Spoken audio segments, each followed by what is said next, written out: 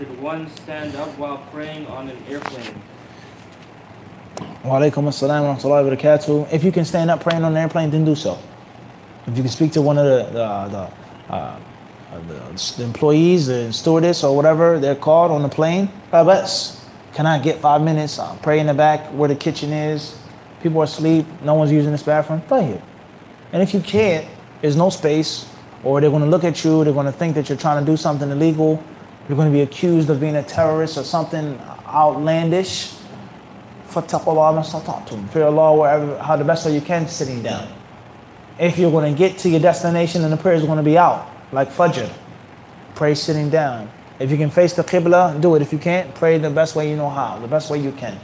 Hmm? That's my advice. Wallahu alam. And yani, it's a very scary thing when you get on an airplane and you're going to a Muslim country and you know or you feel or you guess that the majority of the passengers are Muslim or supposedly Muslim and you're the only one who prays. Very, very, very disheartening. Extremely scary. La la. And it just makes you think about that view that we spoke hmm, a couple years ago how some people may say, some ulama may say, that it's an impractical view to say that those who don't make salah are kuffar. I'm not saying this is my view. Some ulama, they've said this. They say it makes no difference whether you say the tariq salah is a Muslim or kafir because there's so many people around us in our families, our communities, our neighbors that do not make salah. So what will be the benefit of saying that he's a kafir? He's your brother-in-law. You want to still give him salams. He's going to come over your house, your father, your grandfather, this one, and they're still going to give you salams. They're going to eat your food, you're going to eat their food. Or you're going to say, wa alaik? Where you going to eat from? The butcher doesn't pray.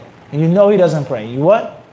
You know he doesn't make salah. You see him sitting there smoking a cigarette, time to pray. Sun rises, sun sets. Maghrib is out. Isha is done. He didn't pray. Where you going to eat your food from? Where you going to get your thobe made at? You're not going to walk into a place overseas and say, what? And he's going to, you know, he says, sorry, he said, wa. Who's going to do that on me? You've seen that?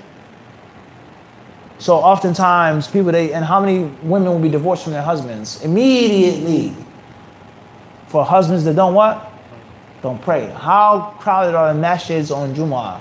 Every single masjid overseas in Medina is packed for Jumu'ah. The other prayers, it's not packed. So you can't say everybody's at work, like you may say in America. Everyone understand this? Everyone's supposed to be a Muslim. Everyone's supposed to be praying. Something is wrong. Fajr, only one row in the masjid.